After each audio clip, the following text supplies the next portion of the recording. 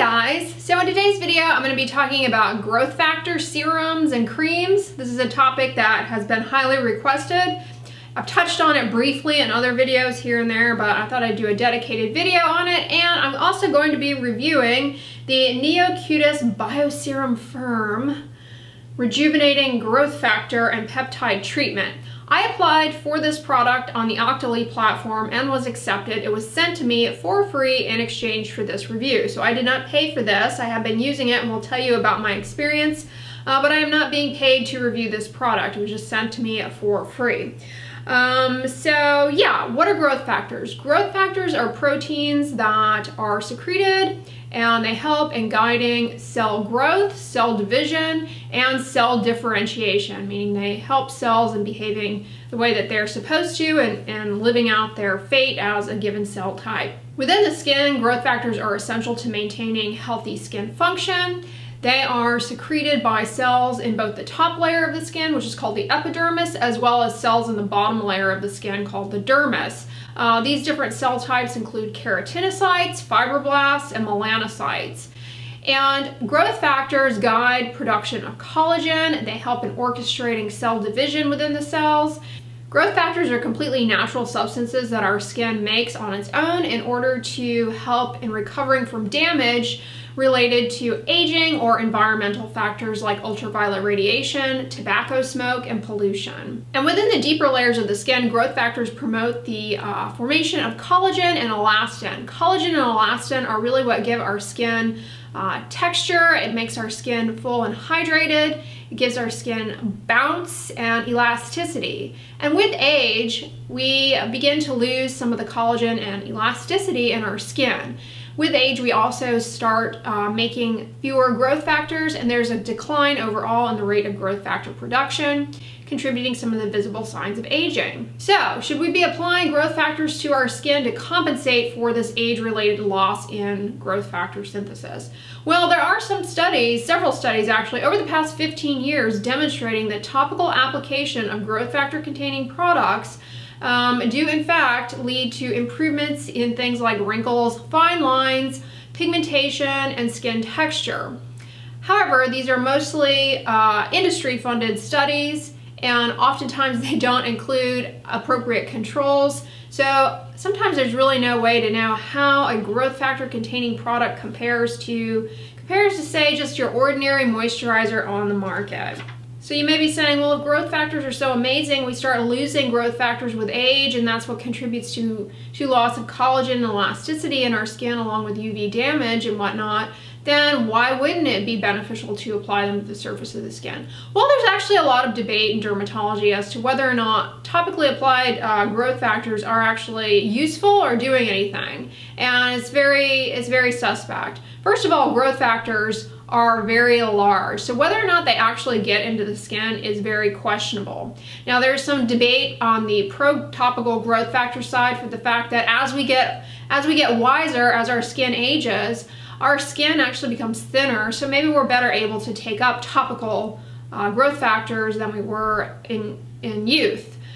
It's been hypothesized that if they are applied at a high enough concentration, then at least a small enough fraction will actually get into the skin and potentially uh, help in guiding uh, collagen production, collagen synthesis, and in boosting um, the, the thickness of the deeper layers of the skin and improving wrinkles, fine lines, and overall skin texture. And importantly, in a lot of these studies, it's been demonstrated that it's actually more than just the growth factors uh, that are required. You need a combination of both growth factors and peptides as well as antioxidants in order to, to yield this type of a result. Uh, and that makes some sense because as part of our natural skin physiology, our natural, the natural processes in our skin, it's not merely like, oh, a, a, skin cell shoots out a growth factor and then all of a sudden we have a boost in collagen production. It's much more complicated than that. It is a it is a cascade of events that requires multiple different participating partners, things like cytokines, and also different peptides and proteins all are needed to be in the same place, in the same location, and in the right amount. And our skin knows how to do that. But applying them onto the skin in the right amounts to yield those results is quite tricky. And whether or not those amounts actually get into the skin in, to, to the amounts that they need to be in order to achieve that is really doubtful. In clinical studies though, improvements have been demonstrated with the topical use of a growth factor containing product in as early as four to eight weeks, namely when combined with, uh, when the product is formulated to include vitamin C, peptides, and other antioxidants.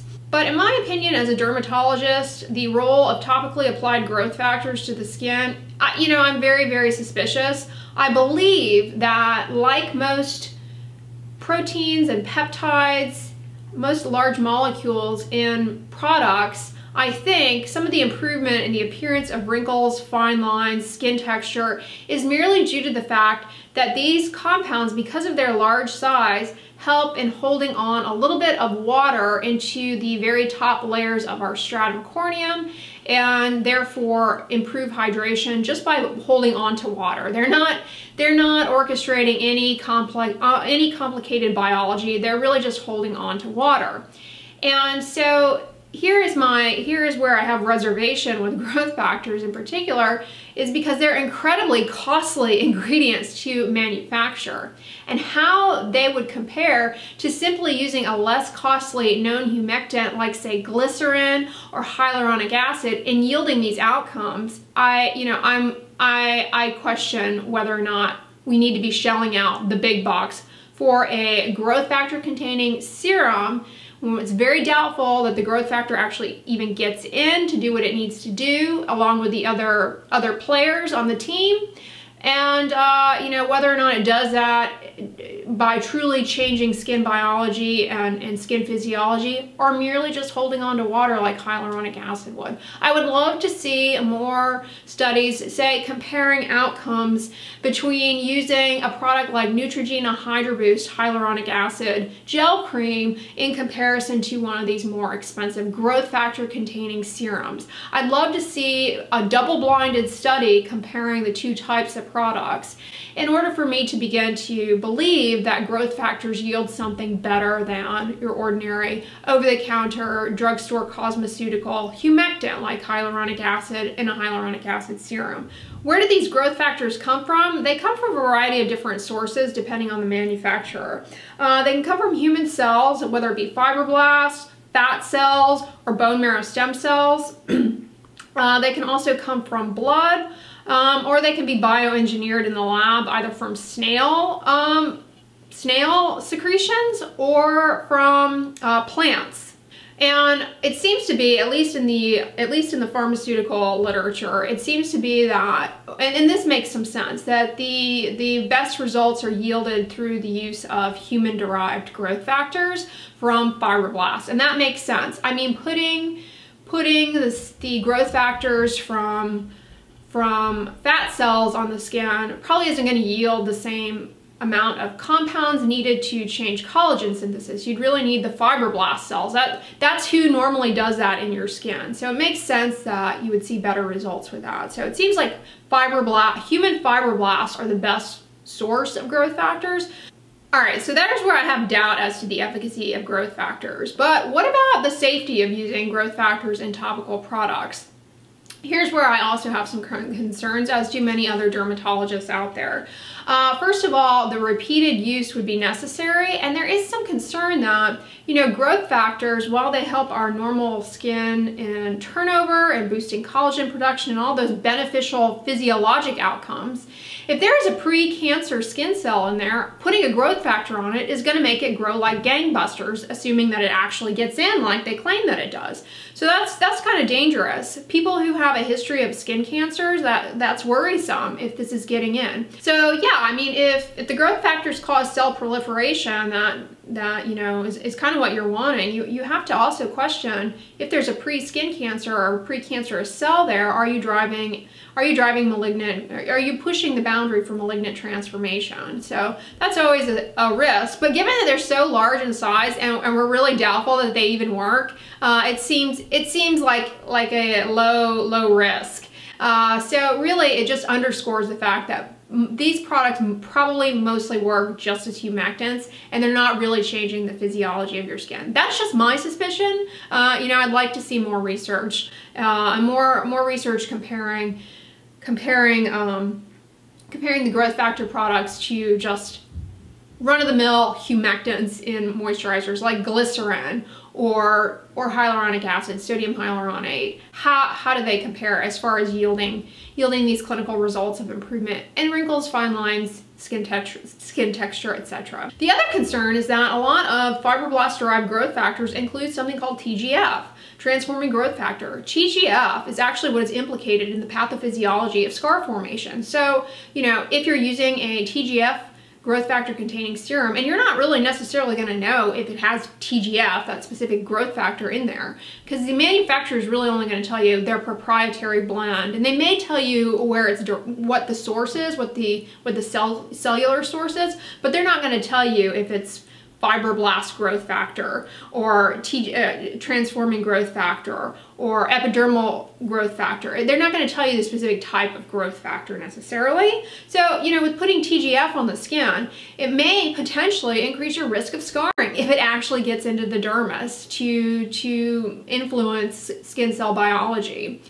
And then lastly, it's a matter of are growth factors actually stable? I mean, in our body, our cell puts them out when it's needed, along with the other factors that are needed in the right amounts and the right recipe. But putting it in a bottle, uh, you know, you have to worry about stability. And also, once you put it on your skin, uh, how long does it stay stable on the surface of the skin while it's trying to trickle down into your skin to actually you know, actually, does it actually get to, to a biologically relevant amount? Probably not, but anyways. So that's what I can tell you about growth factors, some theoretical concerns, uh, and some potential benefits. Uh, so, are they worth it? You know, I'm not really sure how they compare to just using a hyaluronic acid serum. So I've been trying out the Bio Serum Firm by Neocutis. This is a growth factor containing uh, product. Uh, it has a combination of growth factors derived from uh, fibroblast, uh, fibroblast cells, human fibroblast cells that were cultured. Uh, so you'll see on the ingredient list, I think it's called cell lysate. So that basically includes what the cells have been making in a dish. Um, in terms of growth factors and other things like peptides. They also add some synthetic peptides to this and antioxidants. This also has vitamin C. It has aminopropyl ascorbyl phosphate, a uh, stabilized form of vitamin C. Um, and I'm happy to see that it is free of added fragrance. So that's great. You know, a lot of other uh, competitors on the market you will see have added fragrance, which is just putting you at risk for irritation. This product has squalane in it. I've got a video talking about squalane. It is a lightweight uh, uh oily substance that is a wonderful emollient. And this also has um, some humectants as well. It's got sodium hyaluronate and hydrolyzed hyaluronic acid, as well as some algae-derived extracts, marine extracts, which as I said in my video on, on sea, seaweed and skincare, uh, seaweed-derived extracts, marine plant-derived extracts are really excellent humectants. So, you know, this has all of their proprietary blend in it, but it still has it still has the ordinary garden variety humectants that you can find in any any other any other product out there on the market uh, that you can go to the drugstore and buy like like I said the Neutrogena Hydro Boost um, gel cream is a hyaluronic acid gel cream. How how does it compare to this uh, you know, we don't have that kind of data. So honestly, this has most of the garden variety humectants that you will find in any drugstore humectant serum. It has uh, glycerin and it's got sodium hyaluronate and hyaluronic acid. It also has marine extracts in it. It's got a variety of, of algae extracts. Uh, and there, I mean, you'll find them in tons of products. That, that Walmart moisturizer Equate has, has that in, in, in the product. So these, this particular product has all of those ingredients in it. So why am I going on about that? Well, unlike the Neutrogena Hydro Boost uh, Extra Dry Sensitive Skin Gel Cream or their Neutrogena Hydro Boost Fragrance Free Body Lotion or the Equate Body Lotion, you know, unlike those, uh, just garden variety, plain moisturizers that you buy at the drugstore, this product is $275. Uh, you know, so thank you Octoly for sending it to me, but that is, that's really expensive. So you are paying $275 with the belief that the growth factor and peptide milieu in this, and the vitamin C milieu, I should say, is going to deliver something to your skin in terms of actually boosting collagen production and altering skin elasticity over what you would get if you bought a product that just had hyaluronic acid and glycerin and water, which you can get at the drugstore. I mean, you're really hanging your hat on that. And, you know, so hopefully this video clarifies to you that there's a very good chance that the growth factor milieu in this doesn't even get into the skin. I mean, that growth factors are very large molecules. So you're paying a lot of money for a very expensive and costly ingredient that might not even get into your skin. Um, and you know, we don't have comparator data to say that the level of hydration that growth factor containing topicals like this yield is any different than just using a hyaluronic acid moisturizer or a glycerin, you know, glycerin containing product. Company really has to put a lot of a lot of money and, R&D into it. Uh, they are um, Merz, I think. So I mean, you know, they're a pharmaceutical company. I trust them as far as the synthesis and, and whatnot. You know, I think they, they probably do due diligence by this product. So, you know, I think if you're gonna if you're gonna invest in growth factors, I, I actually do like this product. I just, you know, I can't tell you that it's worth spending this kind of money on a topical product that probably doesn't do much beyond what you would get from using a moisturizer. You know, that being said, I've actually really enjoyed using this product. Again, like I said, it's free of added fragrance. Uh, it's actually cruelty-free, not tested on animals. And uh, it is uh, you know, it comes in um, an airless pump dispenser, so you have a little bit of insurance, a little bit of extra insurance there as far as product stability. It's not going to be exposed to air. I do believe that this product should last you approximately four months. I've been using it for six weeks now, and you know, I have no, I have no idea actually how far along I am in it, but I feel like I have quite a bit more left in this. You don't actually need a lot of it. So the way to use this product though is to put it onto your skin while your skin is damp after you've just cleansed it. And the reason for that is that's really when your skin barrier is kind of open and probably would yield greater greater penetration of the of the growth factors and whatnot theoretically. So you probably get better results. You really only need a, a very small amount, um, just you know two two tiny little dots on the finger to the entire face and neck. So you really don't need a whole lot, you know, just two little little pea-sized amounts to the finger pads is about all that I have been using. Um, but importantly, after you put it on and, and, get it all over your face, down the sides of your neck, um, after that, you want to come on with a, a heavier moisturizer on top. And the reason for that is that if you just stop there and leave that as is, what will happen is your skin will actually, because there's so many humectants in this and there's nothing that's creating a seal on, on top, uh, that water that's being held there on the surface of your damp skin will actually start evaporating out of your skin and pulling more water out and lead to dryness and irritation. You'll kind of get this filmy, filminess, uh, you know, the product will dry like kind of filmy and that's not desirable and you're not gonna be happy with it. So the way to do it, put it on while the skin is damp. You don't need a whole lot to the entire face and neck and then come on with a fragrance-free moisturizer. I will list some fragrance-free moisturizers down below that are fantastic for oily skin and then some that are fantastic for really, really dry skin, like a, like a heavy duty moisturizer for winter skin. Uh, either category would be adequate for putting on on top of this.